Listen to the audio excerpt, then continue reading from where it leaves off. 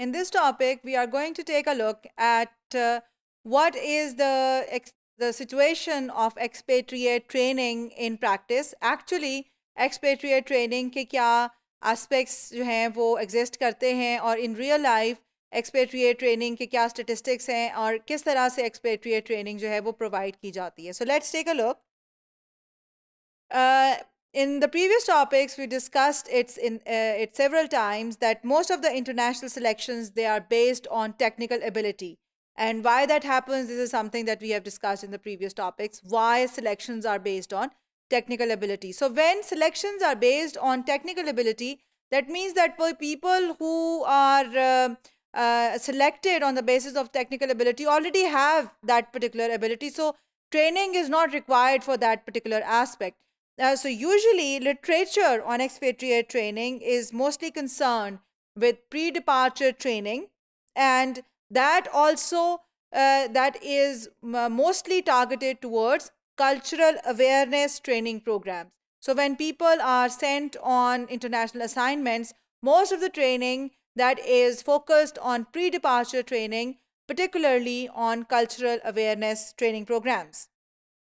Why do we need and why uh, international training is mostly focused on intercultural training? That's because there are huge cultural differences.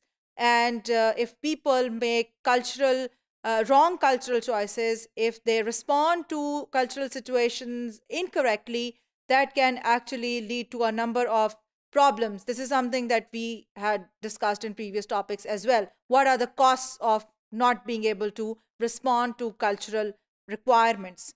Uh, so, intercultural training is something which helps people cope with unexpected events in a new culture. So, uh, when you train people for intercultural uh, training, uh, that helps them uh, to behave in a way and to respond in a way which is conversant, which is familiar with that particular culture that they are going to. However, uh, when we look at uh, the data on um, how much training is provided to people who are going to international assignments, we see that previously, um, 30 years ago, 40 years ago, that was a very um, a small amount of uh, uh, training which was provided to people going for international assignment. So, for example, a study in 1982 found uh, that US multinationals they are most reluctant to provide even the basic pre-departure training to their expatriates. Uh, so uh, you can see from data that US multinationals only 32% of the multinationals they were providing training uh, to people uh, going for international assignments whereas it is a little bit different in European and Japanese uh, companies, uh, European companies provided most of the training uh, was provided by European companies, and that is 69%. And Japanese companies provided uh, training to 57% of their expatriates. In 1997, uh, a survey of European countries, uh, it showed that only 13% they always provide tra provided training to people going on expatriate uh, uh, to uh, people going on international assignments going as expatriates so only 13% always provided.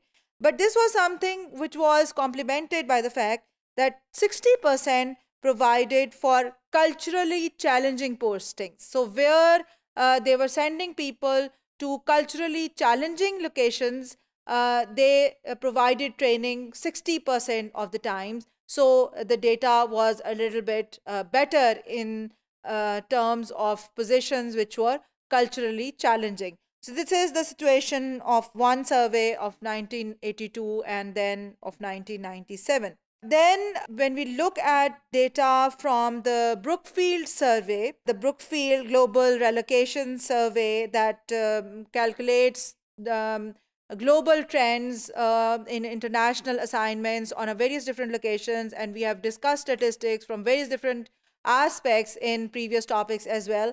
So, this data is about cross cultural training.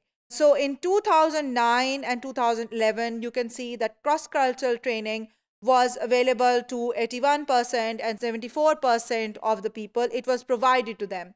But cross-cultural training was uh, provided uh, to employees only. You can see that there is a increasing trend of uh, cross-cultural training being provided to other uh, members of the family as well. So cross-cultural training being provided to employee only was happening uh, for only 7% of the times and 4% of the times in 2011 and uh, cross-cultural training was being provided to employee and spouse in 32% of the times and 46% of the times and to whole family in 56% times of and 49% of the times in 2009 and 2011 respectively.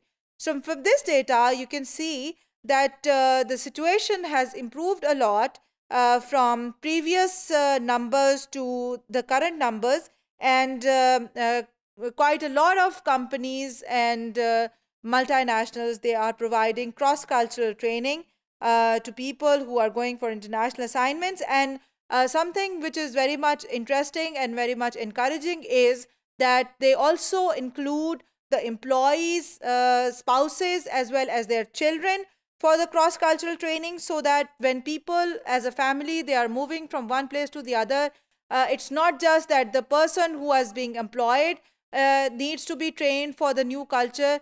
People who are accompanying them the spouse and the children they are also going to be exposed to the new culture and they also need to be behaving in the right way and they also need to be aware of the cultural differences and therefore cultural training is provided to the whole of the family in maximum of the cases. So this is something which we see that the trend of expatriate training, particularly cross-cultural training, is increasing uh, these days.